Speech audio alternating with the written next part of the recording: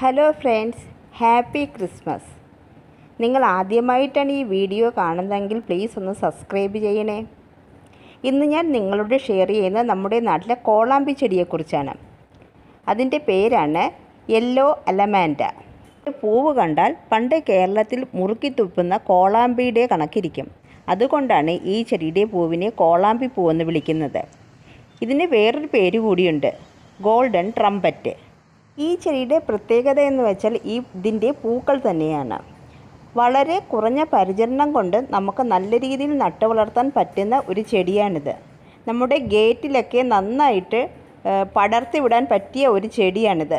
ഈ ചെടിയെ നമുക്ക് തറയിലോ ചട്ടിയിലോ വളർത്താം. തറയിലാണെങ്കിൽ പ്രത്യേക പരിചരണമൊന്നും ആവശ്യമില്ല.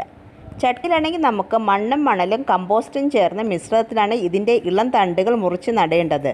മഴക്കാലത്തും സമ്മർ സീസണിലും ധാരാളം പൂക്കൾ വിരിയുന്നതാണ്. നല്ല സൂര്യപ്രകാശം കിട്ടുന്ന ഭാഗത്ത് വേണം ഈ ചെടിയെ നിങ്ങൾ നടേണ്ടത്. ഈ ചെടി പൂത്തു കഴിഞ്ഞാൽ ഇടയ്ക്കൊന്ന് ട്രിം ചെയ്ത് കൊടുക്കുക നന്നായിരിക്കും. ആ സ്ഥലത്തു നിന്ന് ധാരാളം മുളകൾ പൊട്ടി വരികയും അതിൽ ധാരാളം പൂക്കൾ വരുന്നതും കാണാം. റെയിലാണ് ഈ ചെടി നട്ടിരിക്കുന്നതെങ്കിൽ ആഴ്ചയിൽ രണ്ടോ മൂന്നോ പ്രാവശ്യം വെള്ളം ഒഴിച്ചു കൊടുത്താൽ മതിയാവും. നിങ്ങൾ ചട്ടിയിലാണ് നട്ടിരിക്കുന്നതെങ്കിൽ ദിവസവും വെള്ളം ഒഴിച്ചു കൊടുക്കേണ്ടത് അത്യാവശ്യമാണ്.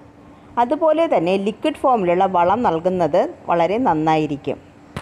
ഗാർഡൻ സെറ്റ് ചെയ്യുമ്പോൾ നടാൻ പറ്റിയ ഒരു ചെടിയാണിത്. ഈ ചെടിയെ ഏത് ഷേപ്പിൽ വേണമെങ്കിലും നമുക്ക് നട്ട് വളർത്താം. ഈ ചെടിയുടെ സ്റ്റെം ഒരു പി വി സി പൈപ്പിന് ഉള്ളിൽ കൂടി കടത്തി നമുക്ക് ആ ഷേപ്പിൽ ഒരു റൗണ്ട് ഷേപ്പ് വേണം ഏത് ഷേപ്പിൽ വേണോ നമുക്ക് ഇതിനെ വളർത്തിയെടുക്കാൻ പറ്റുന്ന ഒരു ചെടിയാണിത്. അതുപോലെ തന്നെ മഴക്കാലത്ത് ചെടിച്ചട്ടിയുടെ ചുവട്ടിൽ വെള്ളം കെട്ടി നിൽക്കാതിരിക്കാൻ ശ്രദ്ധിക്കണം. വെള്ളം കെട്ടി നിന്നാൽ ഈ ചെടി നശിച്ചു പോകാൻ സാധ്യതയുണ്ട്.